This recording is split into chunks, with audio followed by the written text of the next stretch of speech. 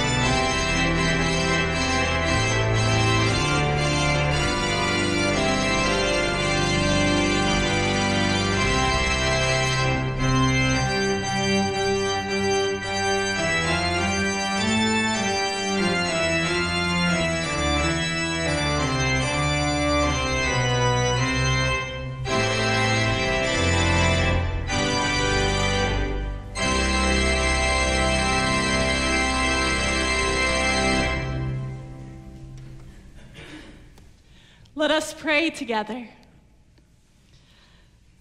O Lord, your wondrous birth means nothing unless we are born again. Your death and sacrifice mean nothing unless we die to sin. Your resurrection means nothing if you be risen alone.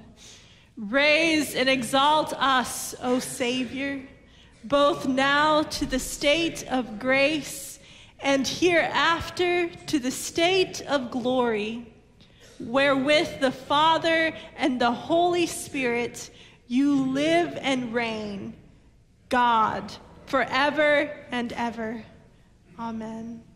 Please rise as you are able in body and spirit for our hymn of praise, Up from the Grave He Arose, number 322.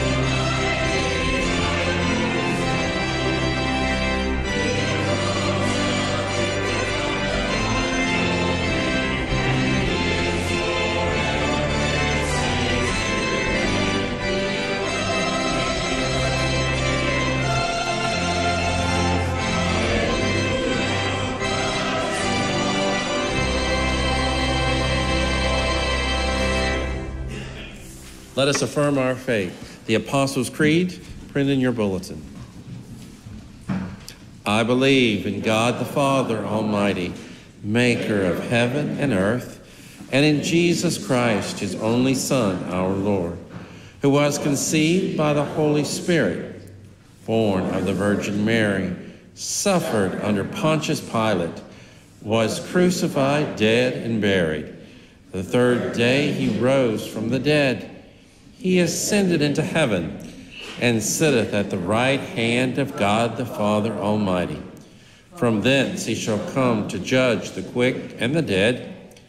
I believe in the Holy Spirit, the holy Catholic Church, the communion of saints, the forgiveness of sins, the resurrection of the body, and the life everlasting.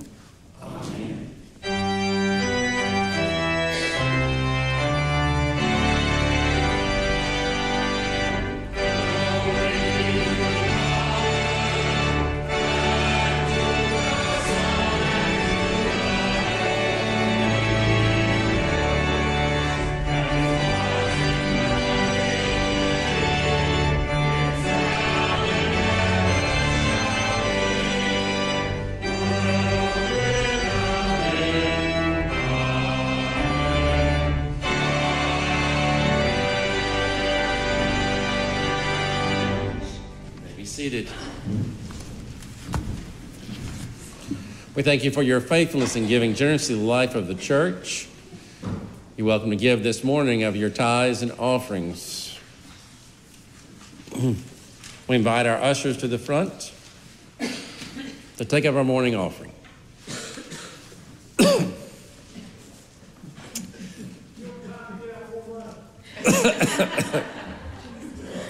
I'll also let you know that we thank those that have decorated the cross beautifully with flowers. They're in the meditation garden. If you'd like to take pictures after the service, you're welcome to do so. Come on down.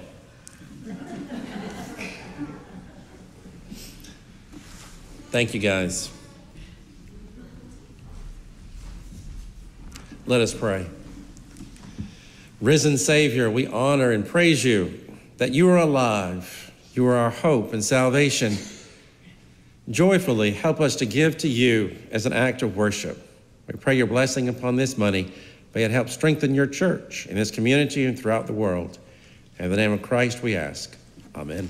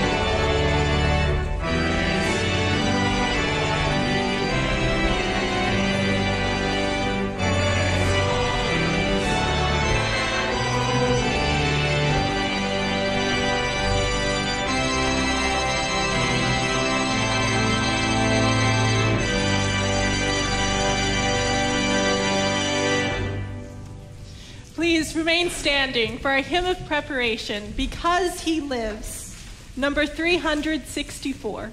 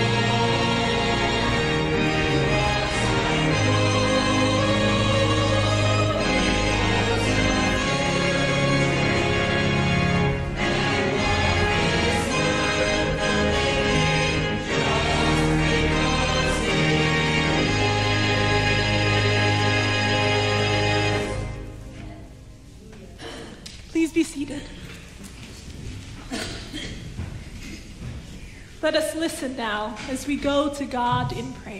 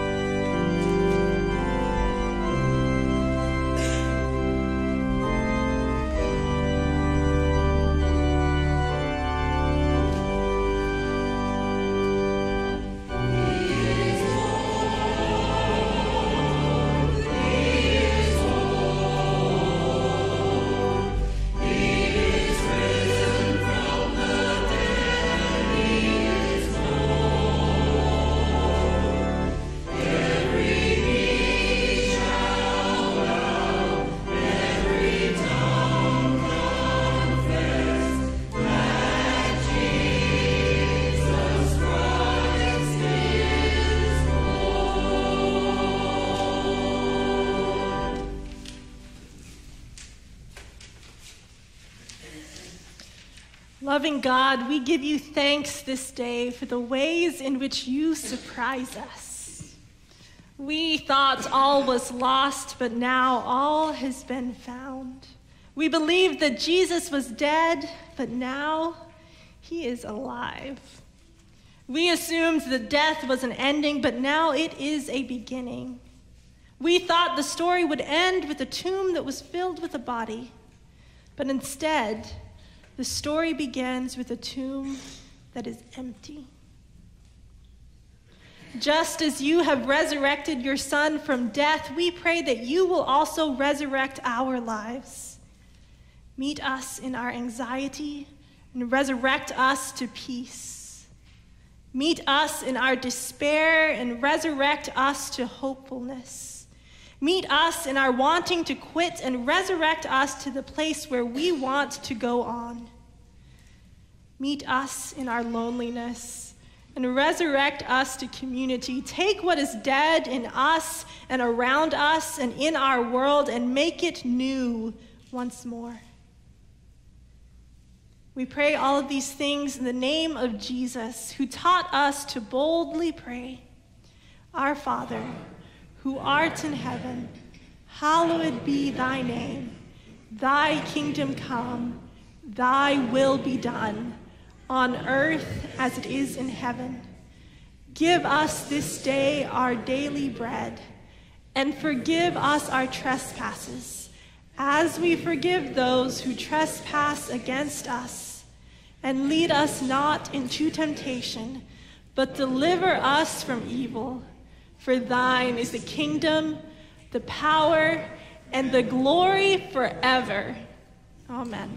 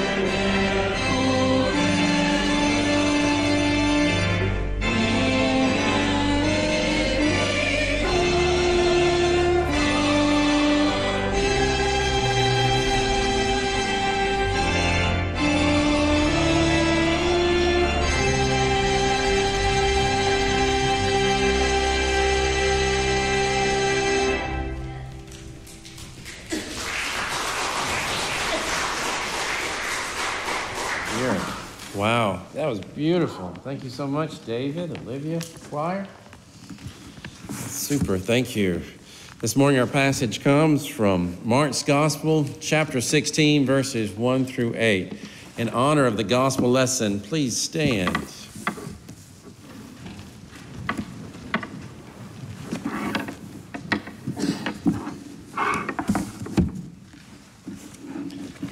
Mark chapter 16, verses 1 through 8. When the Sabbath was over, Mary Magdalene and Mary, the mother of James, and Salome brought spices so that they might go and anoint him. And very early on the first day of the week, when the sun had risen, they went to the tomb.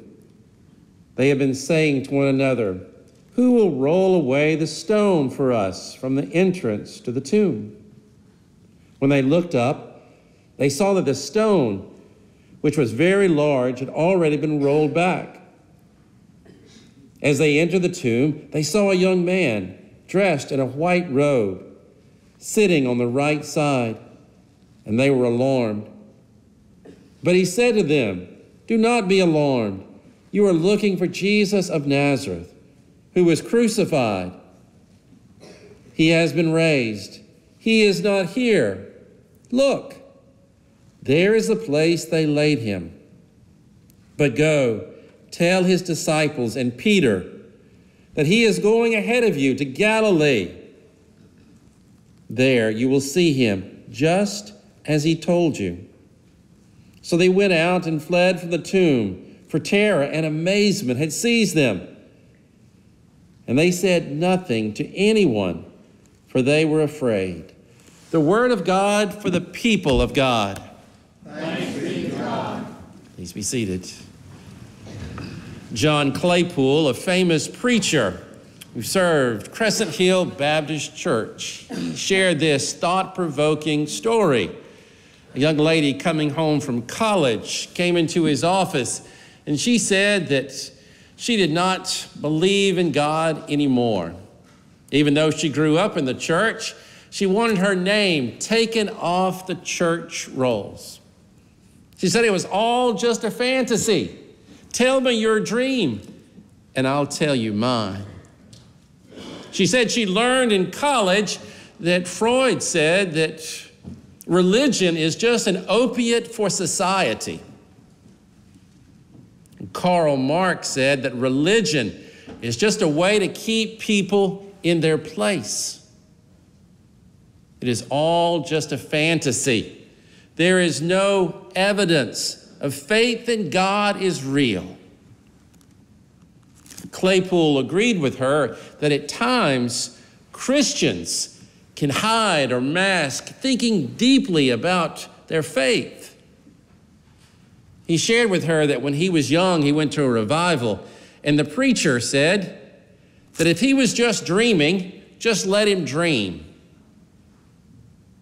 Claypool said that that hit him the wrong way. That just because we believe in Christ doesn't mean we stop seeking to know God intellectually and emotionally. He said to her that he knew that she was concerned with what is truth. And he challenged her to do three things. First, to read through the Gospels and see the story of the crucifixion and resurrection as though it were for the very first time. Read in Acts 9 how that Paul, who was the great persecutor of the church, was dramatically changed. He asked her, Do you really think that he wanted to admit that he was wrong? And third, write down your own religion. If you no longer believe this, what do you believe? And he confessed to her that apart from Christ, his religion would have nothing to do with turning the other cheek, forgiving seven times seven, sacrifice, obedience, well, the college student took up his challenge, and over the next several years, there was a miraculous change in her outlook. And she went from fantasy to faith. That first, Resurrection Sunday, those hiding disciples, it must have all just been too much for them to even believe. It must have seemed like a fantasy. A fantasy is an imagined event fulfilling a wish.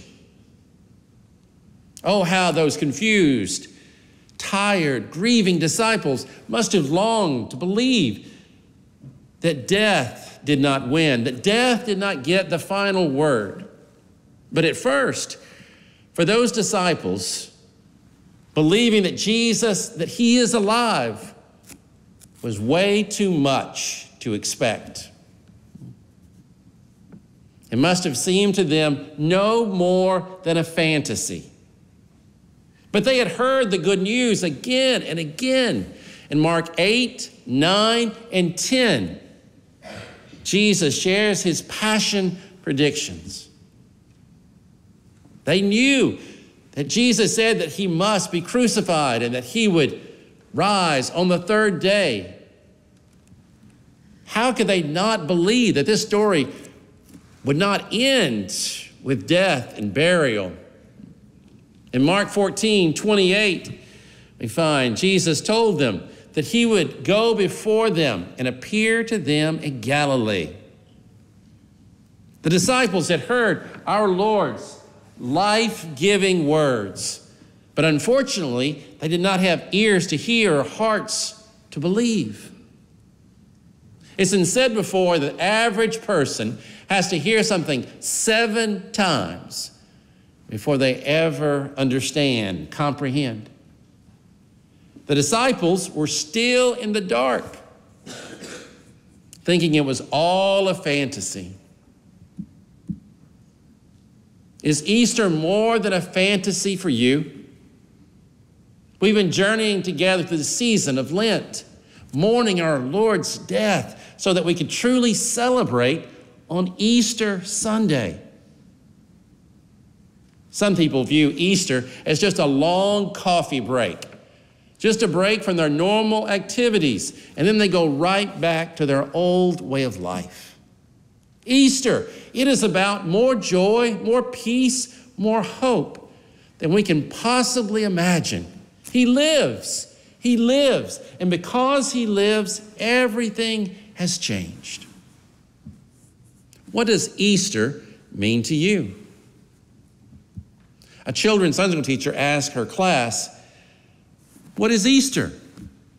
One little boy raised his hand and said, I know, I know.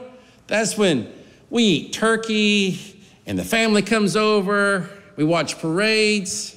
The teacher said, No, no, that sounds like Thanksgiving, not Easter. Other little boy said, I know, I know. That's when we have presents under the tree. She said, No, no, no. I think you're thinking about Christmas, not Easter. And she was discouraged, thinking that none in her class knew the true meaning of Easter. That is, until a little boy raised his hand and said, I know, Easter. That is when Jesus died on the cross for the forgiveness of our sins. Amen. She was relieved at least someone knew in her class the meaning of Easter. That he is until he added, and when he rises, if he sees his shadow, we'll have six more weeks of winter. Easter. Are you a person of faith? What you believe about Easter will affect not only how you live, but how you treat others. Easter, it is the center of who we are. 1 Corinthians 15 reminds us for if Jesus, he had not risen from the grave, then our faith would be in vain. Let us reflect on that first Resurrection Sunday when the three women go to Joseph's tomb and they carry with them nard, frankincense, myrrh to anoint Jesus' dead, smelly corpse. The original Spice Girls. Think about that. They went to the tomb not in faith, but out of a sense of profound duty, respect for their rabbi. And as they walk along to the tomb, they ask each other, Who will move away the stone, the stone that was so large in front of the mouth of the tomb? How will they get inside to anoint Jesus' dead, smelly body? Max Lucado writes in his book, He still moves stones. We can see stones as hardships, difficulties, problems. What stones are in your life? We can look to the Bible and see people of faith and how they dealt with stones. Moses, his excuses, Elijah, his depression, Peter, his failure, or Paul, his past. He still moves stones. Please remember that these stories, the goal is not to look back with amazement, but to look forward and to remember that God who spoke continues to speak, that the God who forgave continues to forgive, that the God who came continues to come. God moved the stone then and now. Stones are no match for our God. So the women appear there in front of the tomb, and the angel said to them, Do not be alarmed. Come on in and see where they laid him. The tomb was empty. So, why do you think the stone was moved? Was it moved so that the death conqueror could get out? Was Jesus so tired and weak from rising from the grave that he couldn't push that stone out of the way? Of course not. Heavens, no. The stone was not moved so that Jesus could get out. Oh, but so the women could get in and see for themselves that he is alive, he has risen, the tomb is empty. Does the empty tomb prove to you that he is alive? There are some people that want concrete, absolute proof who are waiting like honest Thomas to feel, to see for themselves before they will ever believe in Jesus' resurrection. If we knew beyond a shadow of a doubt if we had concrete, absolute proof in the resurrection, there would be no need for faith. You ask me how I know He lives. He lives within my heart.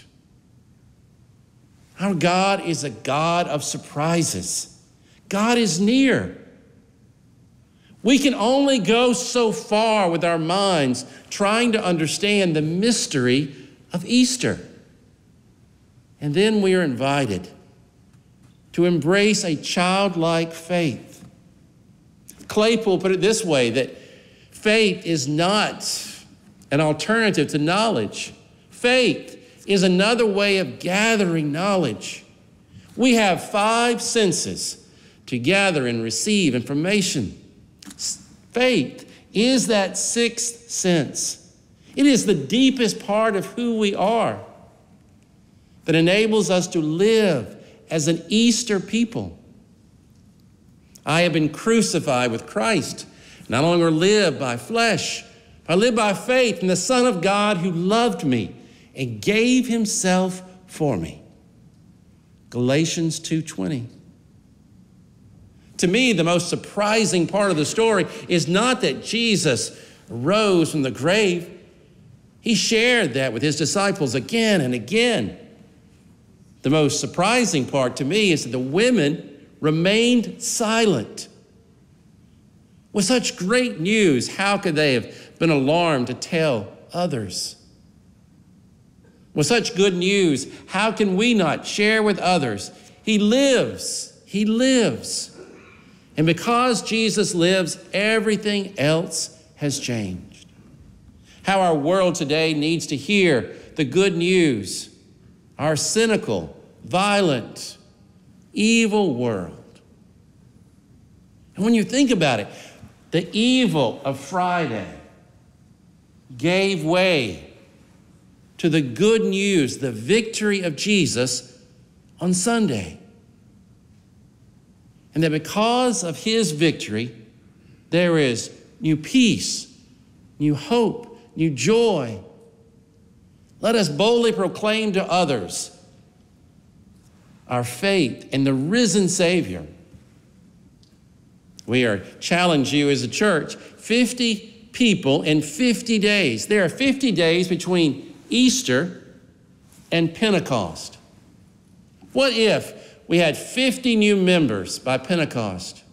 I would encourage you and challenge you to think about what are 50 things that we can do, sending out 50 cards, making 50 visits. There's a lots of things that we can do as an Easter people in these days between Easter and Pentecost.